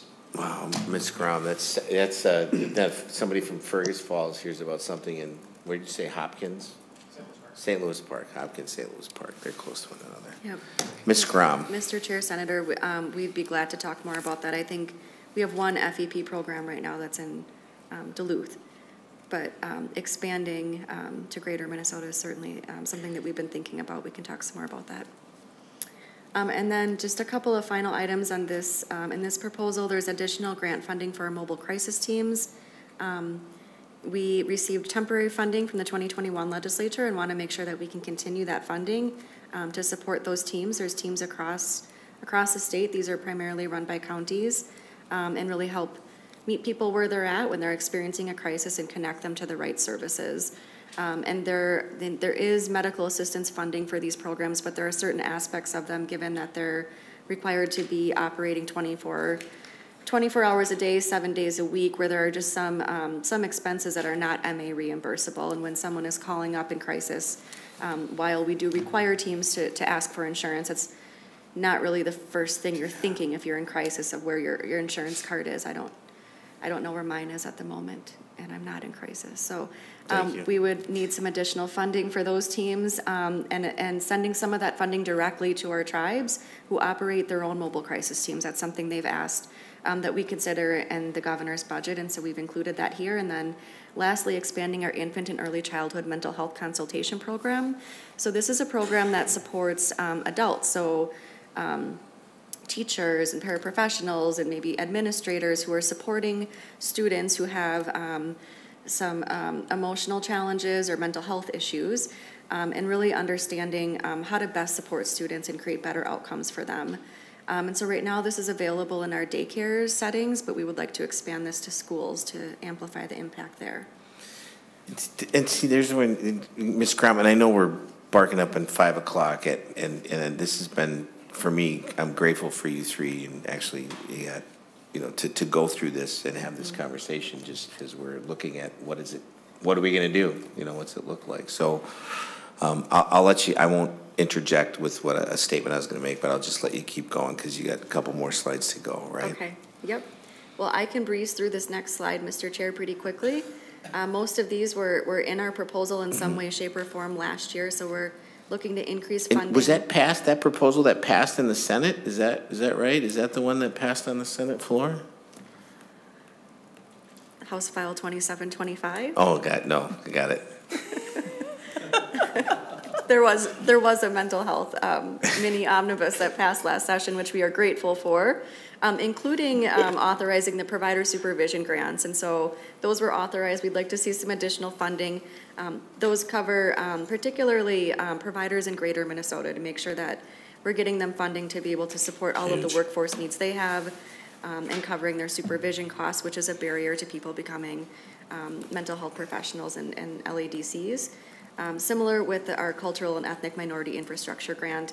And then lastly, I do want to highlight the, um, the startup funding um, and workforce funding for psychiatric residential treatment facilities. This was in the, in the budget last year, but one of the things we're adding to this is um, additional funding to incentivize providers and, and provide the kinds of resources that they need to take on um, children who have complex needs. They might have things like neurocognitive disorders or um, IDD coupled with other behavioral health issues, or um, these are some of the children that are being labeled as aggressive. Um, and uh, we really need to make sure that we're able to help support those transitions from hospitals and, um, and get them into settings that can really help help treat them and get them back to the community. And so we've got that um, initiative in this in this proposal as well. Sober homes um, uh, have been working with stakeholders.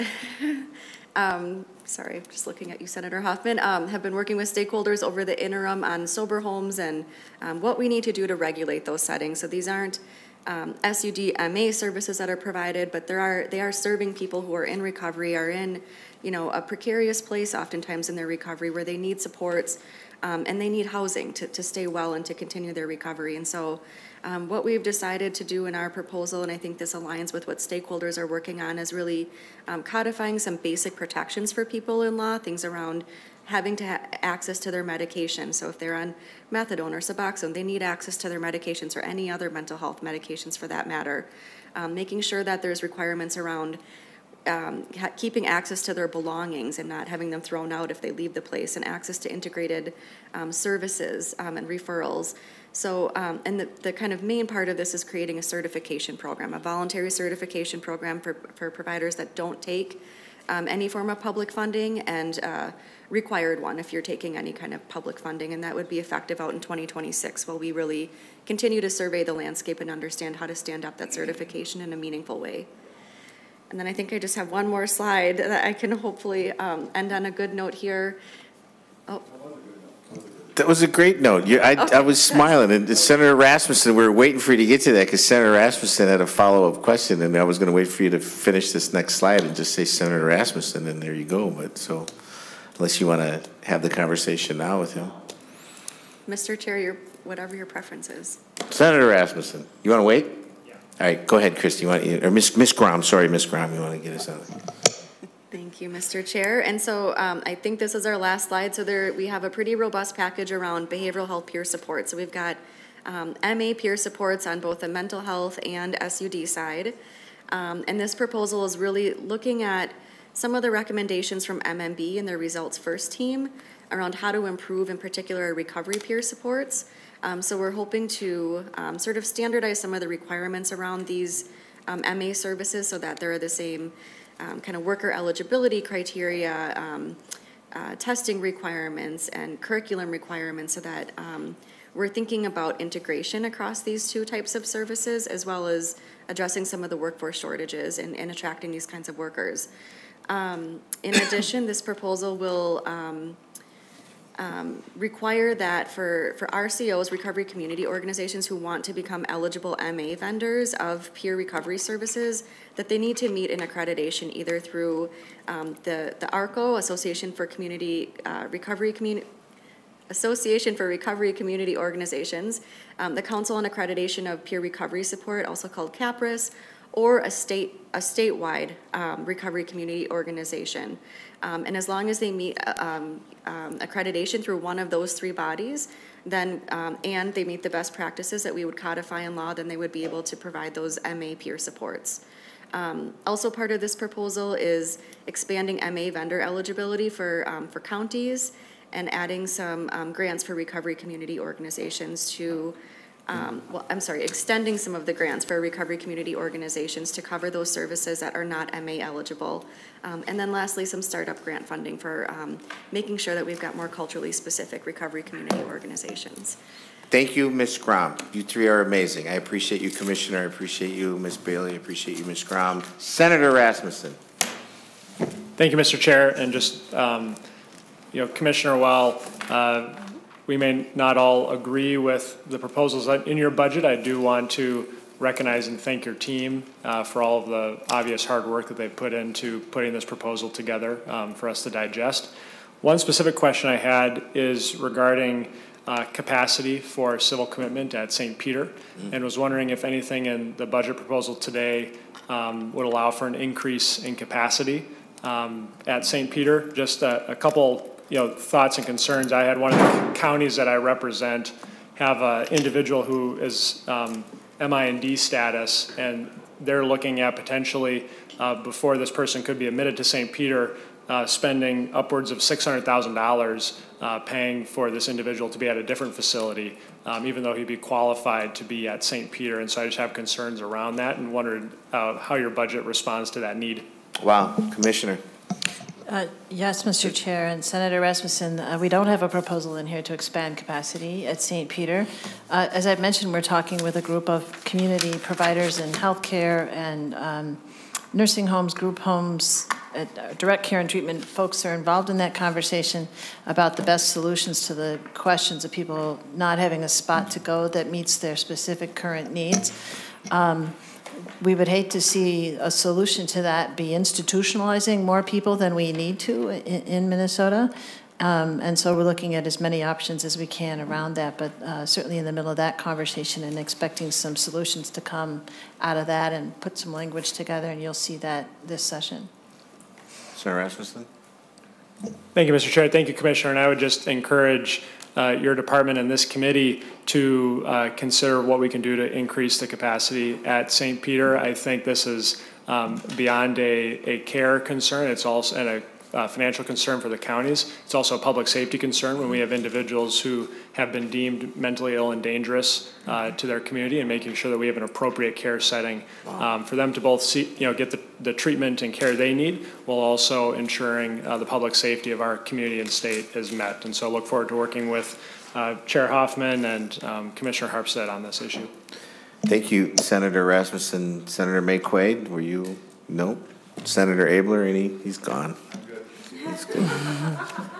Lots. We're going to talk 48 hours. We're going to talk, right?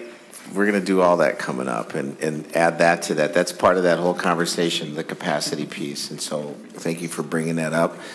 And you're going to talk equalization of nursing homes, right? I'm kidding. Next time. Thank you, thank you, three. Thank, Commissioner, thank you for taking, taking and walk, and talk- talking us through this, and I appreciate it. So, Thank you. with that, we're adjourned. You guys-